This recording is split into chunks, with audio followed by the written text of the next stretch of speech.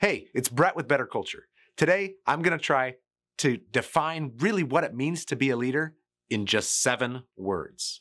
Here we go culture, pride, growth, duds, decisions, conflict, and fun.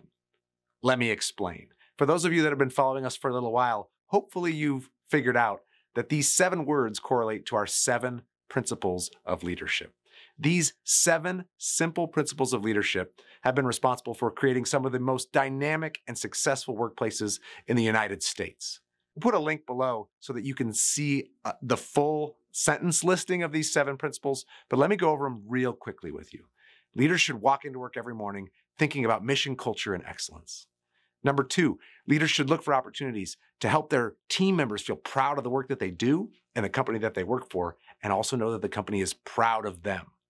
Number three, leaders should always be looking for opportunities to help employees be more successful and to grow, both at work and in life.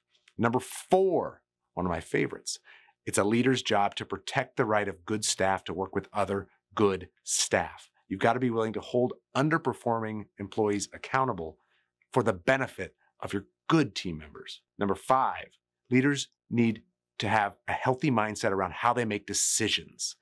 They need to effectively be able to gather input from people and weigh how they're going to communicate those decisions after the fact. Number six, leaders need to be able to deal effectively with conflict. I've got news for you. If you're new to leadership, conflict comes with a job. Get used to it. And lastly, this is not a throw in.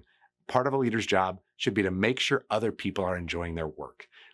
Let people have a little fun. If you can bring that to the table as a leader, you're doing a great job. In conclusion, I think I did it. Seven words to describe what it means to be a leader culture, pride, growth, duds, decisions, conflict, and fun.